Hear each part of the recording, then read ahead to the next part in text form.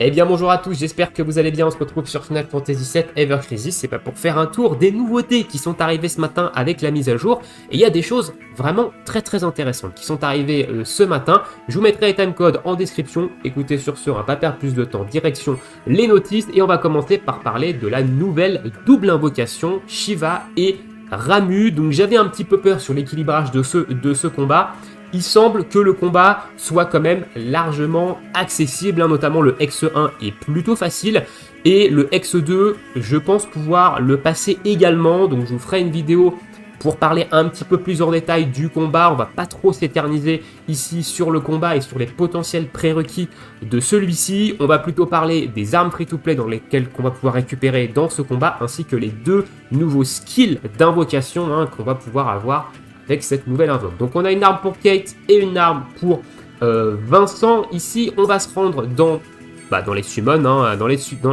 summon quests, et on va aller voir un petit peu ce que font ces deux armes. Alors j'ai passé le X1, voilà le X2, je vais sûrement tryhard et le passer euh, prochainement. Alors, au niveau des armes, on a un Ice Bolt Mégaphone pour Kate Seat. Alors, on va aller prendre au max, ce sont des armes farmables, hein, des armes free-to-play.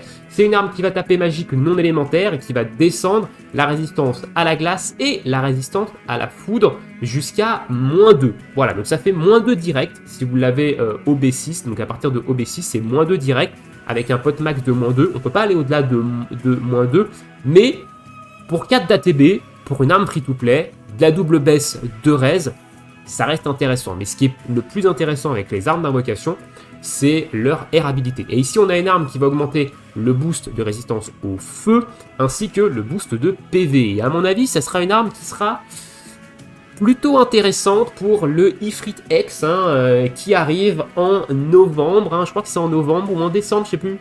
Non, c'est en novembre, je crois qu'il arrive. Ou en décembre. Non, en décembre, c'est Titan. C'est en novembre. Donc novembre, on a le Ifrit X. Donc potentiellement, ça peut être des armes intéressantes si vous voulez tanker certains dégâts d'Ifrit. Ici, résistance au feu et boost d'HP. Donc arme de euh, Kate, vraiment intéressante. Habilité pas dégueulasse, honnêtement. Et air habilité euh, plutôt sympa en termes de défense. Et on a la version ici avec Vincent, qui elle est une arme qui va également baisser la résistance au froid et la résistance à la foudre en tapant magique non élémentaire. Arme qui reste ok, hein, comme pour Kate. Et on a ici la version avec de l'eau, donc baisse de euh, augmentation de résistance à l'eau et augmentation des HP.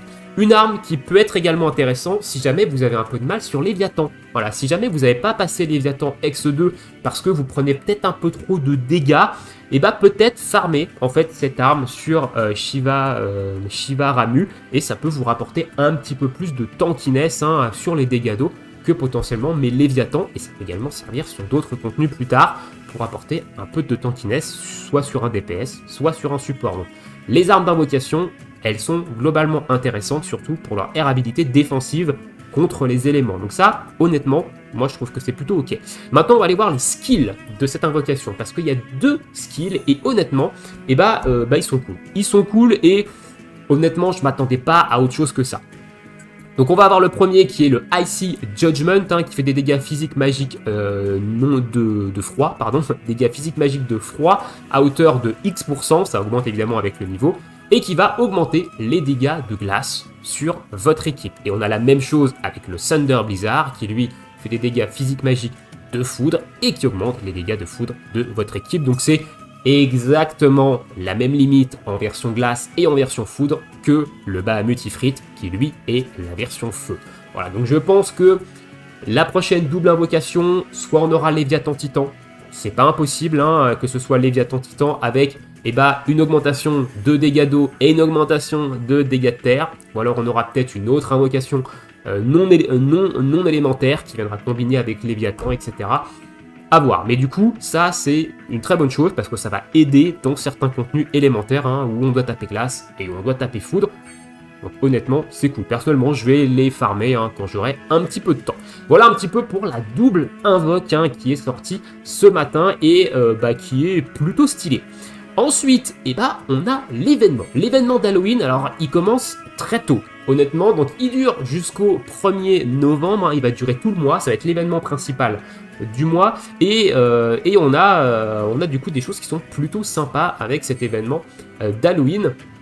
Donc l'événement d'Halloween, c'est celui-ci. C'est le Pumpkin Fest Attack of the Dark Army General. hein, et cette fois-ci, eh ben, il faut pas taper vent comme l'année dernière, il faut taper foudre, et notamment foudre magique. Alors c'est un événement qui va faire revenir un petit peu Tifa Monster Hunter, Tifa Monster Hunter qui est un DPS magique de foudre et qui n'avait pas été mis très très en avant hein, depuis, euh, bah, depuis qu'elle est sortie. Et là du coup, on a un petit peu la mise en avant de cette Tifa. Donc une arme qui combotte aussi très bien avec son arme d'anniversaire. hein. donc ça, évidemment, ça va euh, de pair. Donc c'est plutôt cool. Mais on a également une nouvelle bannière. hein. on en parlera après parce que je me suis réveillé ce matin et je me suis dit euh, SE Applebot, euh, je vous déteste. Mais en même temps, euh, je le sentais vraiment, vraiment bien.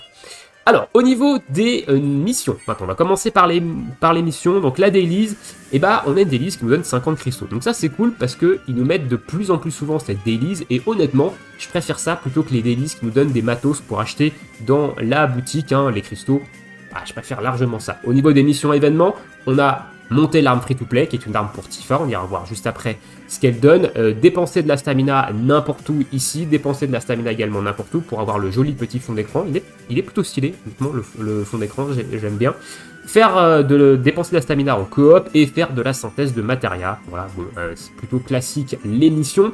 Au niveau du shop d'exchange maintenant, donc on a deux parties, on a les Looney Lantern et les Orange Macarons. Donc avec les Looney Lantern, on va pouvoir prendre cette arme free-to-play de Tifa, qui est une grosse patoune, voilà, les grosses patounes, les Black Cat Paw, qui est une arme plutôt intéressante, elle va taper magique foudre euh, en zone, alors Tifa a déjà une arme qui tape magique foudre en zone hein, euh, aussi, mais surtout ça va donner de la M attack et du potentiel de foudre. Voilà, donc ça c'est plutôt intéressant pour des builds magiques de foudre, hein, donc c'est une arme free-to-play et bah, qui reste plutôt intéressante au niveau airabilité. Après, au niveau des slots de matéria, attaque, attaque, et attaque, bon, c'est une arme free-to-play, hein. faut pas non plus euh, en demander des masses, mais je trouve les airabilités plutôt, inté- plutôt intéressantes pour des builds magiques euh, de foudre. On a des Magic Brandstone, voilà, ça y est, ça passe maintenant au Magic, hein. dans l'événement d'anniversaire c'était plutôt des physiques, ici on a des Magic euh, Brandstone, donc on va pouvoir un petit peu mettre des marques sur nos armes magiques, multi 4 étoiles et plus, multi euh, classique, memory de euh, Tifa ici, memory Cloud, Memory Butcher, ça c'est cool. Et évidemment derrière, on a les euh, Brainstone Magic 3 étoiles hein, à l'infini pour dépenser notre surplus de Looney Lantern. Et au niveau des oranges macarons, donc on a des mitrilingos, très cool, on a des mitril or aussi. Matériaux 5 étoiles pour crafter des matérias, les weapon parts de Tifa, et ça c'est cool, hein, 100 weapon parts de Tifa, et ça c'est très très sympa. Surtout après euh, une arme limitée pour elle. hein. Du coup, ça peut permettre à certaines personnes d'aller gratter des petits doublons sur euh, son arme d'anniversaire. Donc peut-être un doublon. Voilà, donc ça c'est plutôt cool. On prend. Et après, classico, hein, les, matériaux pour augmenter les armes, 3, 4 étoiles pour crafter de la matéria, 3, 4 étoiles, les choco boosters, les bookmarks, les trucs pour euh, augmenter les armes, les euh, matérias, etc.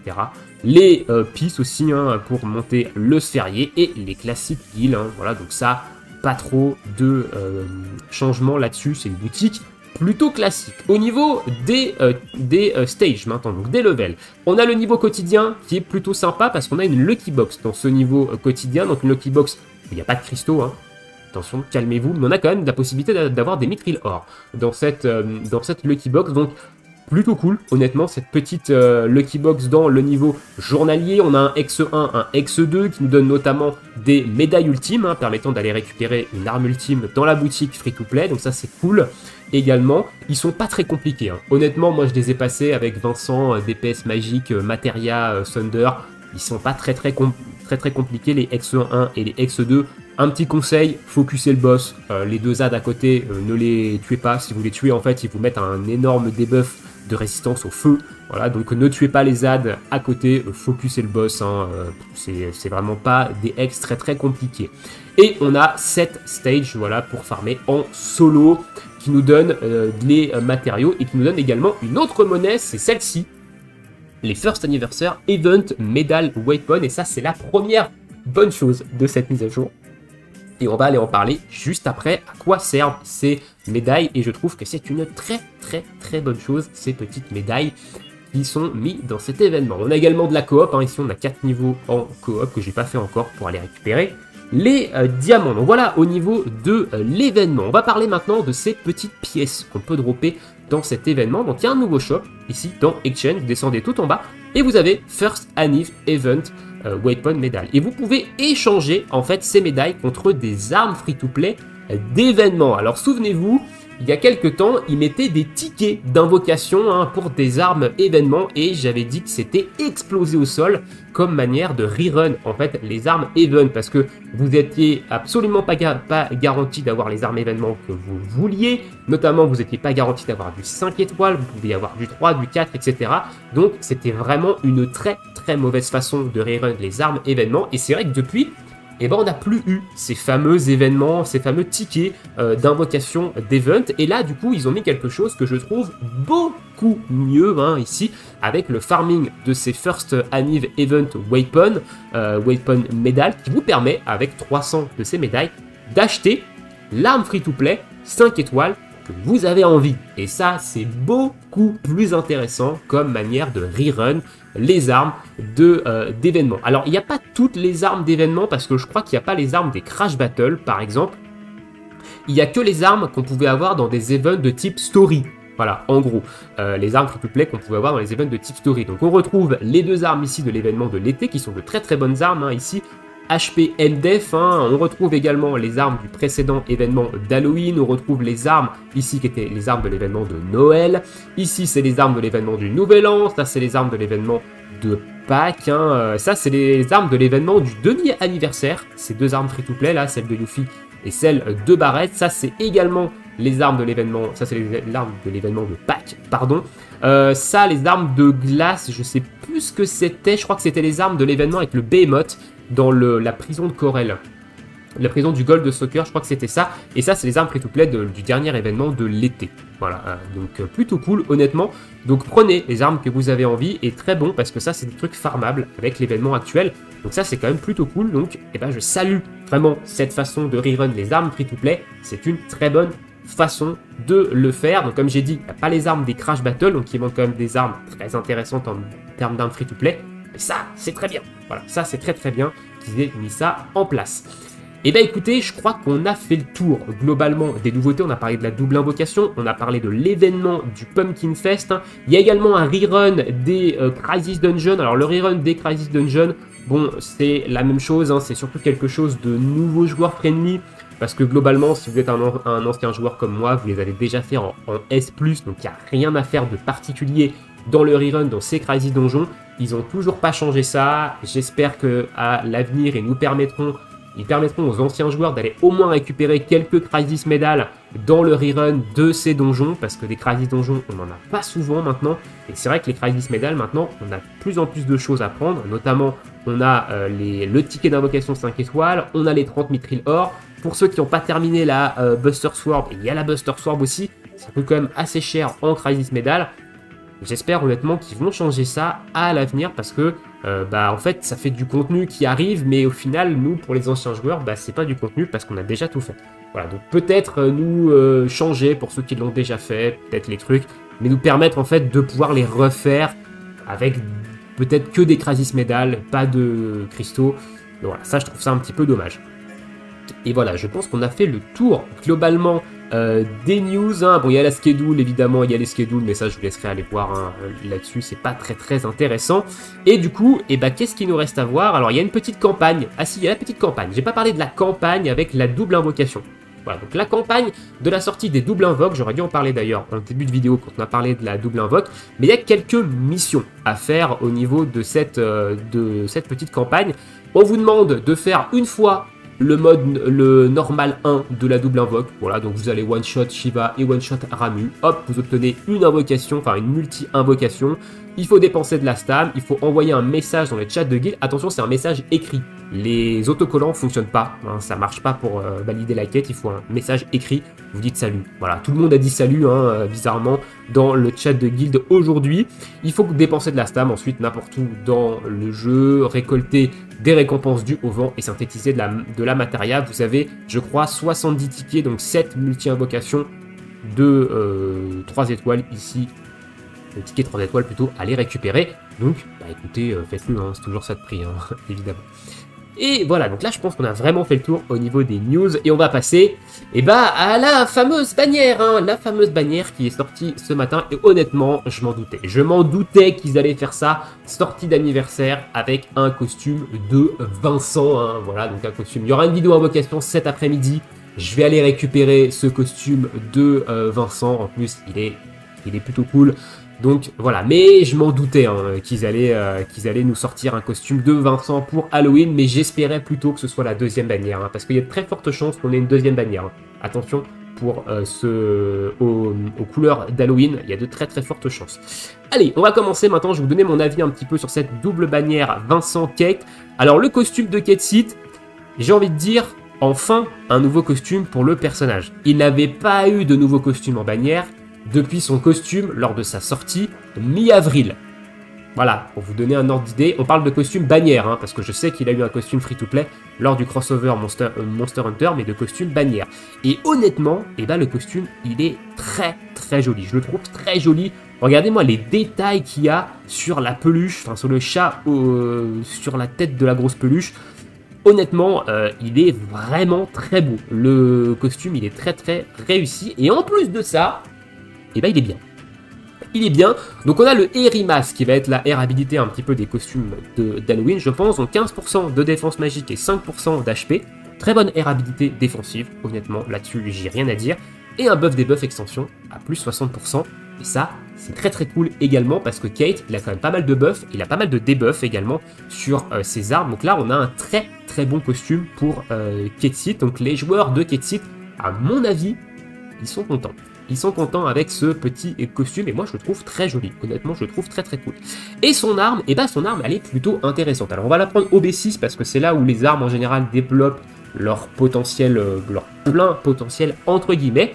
On a une arme qui, pour 3 d'ATB, va taper physique euh, non, élémentaire, va baisser la défense magique de moins 2 jusqu'à un max de moins 2, donc on peut pas aller au-delà de moins 2 en défense magique, et si Ketit a 50% ou plus d'HP, on va diminuer la résistance à la foudre de moins 3 directement. Donc là, c'est OB6. Hein. Si vous l'avez pas OB6, c'est moins 2, pote, euh, moins 2. Hein. Donc il faut vraiment l'avoir OB6 si vous voulez que l'arme développe son plein potentiel. Voilà. Mais du coup, eh ben, on a quand même une arme qui fait baisse de résistance magique et baisse de résistance à la foudre. Donc très bon dans un contenu. Il faut taper foudre magique. Hein. voilà. Donc au hasard, l'événement d'Halloween actuel. Donc arme très très intéressante en termes de baisse de résistance. Voilà. Donc moi, j'irai pas récupérer spécialement cette arme-là. Si j'invoque, c'est plutôt pour le costume de Vincent. Si jamais on tape cette arme, elle reste quand même plutôt cool. Au niveau des air habilités, par contre, elle est très très bonne. Attaque et potentiel de dégâts de foudre hein, ici. Enfin, puissance de dégâts de foudre. C'est vrai qu'on m'a fait remarquer dans l'espace commentaire d'une de mes dernières vidéos que potency, c'est pas potentiel, mais c'est puissance. Donc puissance des dégâts de foudre, voilà, et attaque. Donc ça c'est très bon. Pourquoi c'est très bon? Parce que on a facilement de la R habilité de M attaque, donc on monte facilement au niveau 7 avec des armes qui ont pas mal de doublons.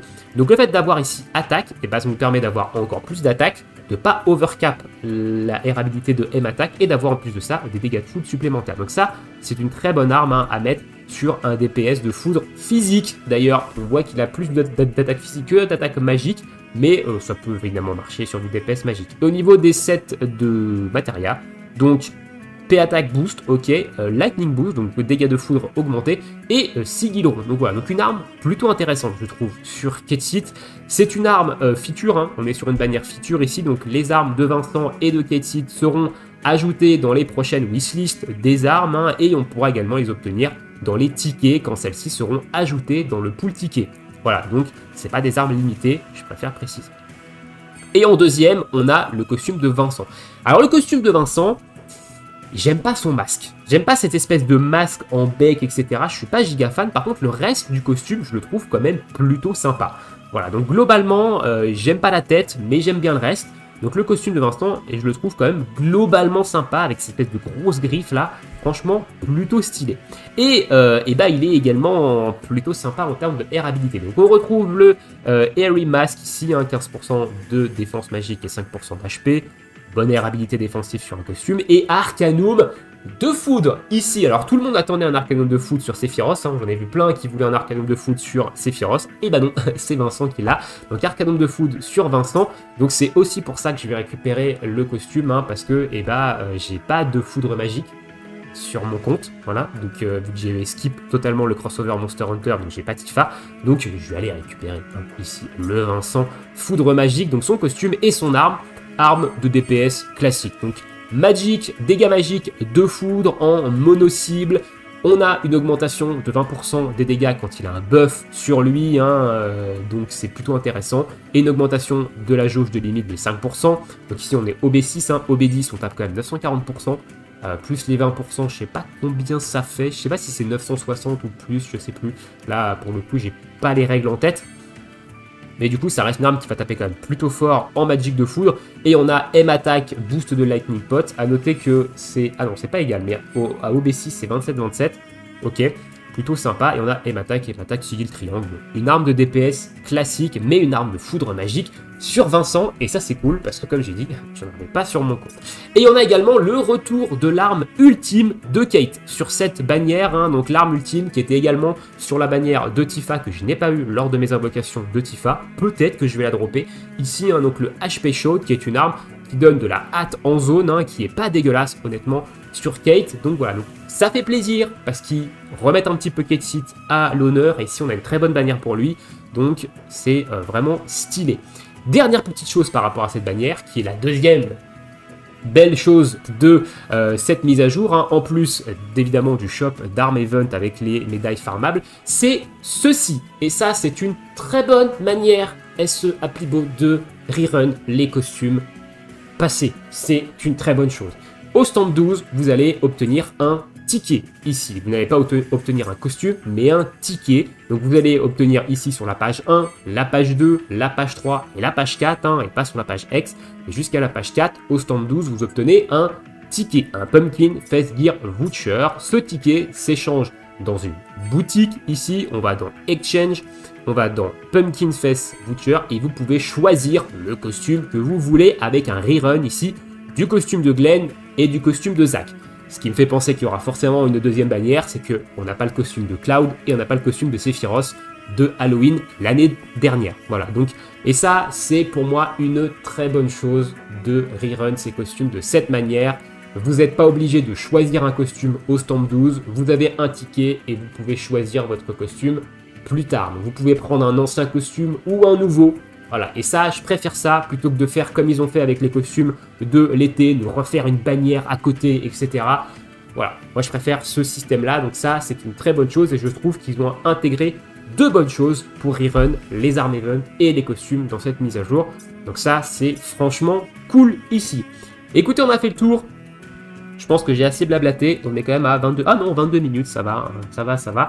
Donc voilà, dites-moi dans l'espace commentaire ce que vous pensez en fait de cette petite mise à jour. Est-ce que vous avez commencé à attaquer Shivaramu? Est-ce que vous avez passé le X1 Est-ce que vous avez même passé le X2 Quel team vous avez utilisé? Et, et bah, qu'est-ce que vous pensez surtout de cette façon de rerun les armes even, de cette façon de rerun les anciens costumes également, anciens costumes saisonniers d'Halloween? Et est-ce que vous allez invoquer d'ailleurs sur cette petite bannière hein? Donc vidéo invocation cet après-midi sur euh, la bannière, on ira chercher le costume de Vincent avec 33 700 cristaux, sachant que j'ai pas récupéré tous les cristaux que j'ai ici, hein, que j'ai farmé un petit peu ce matin.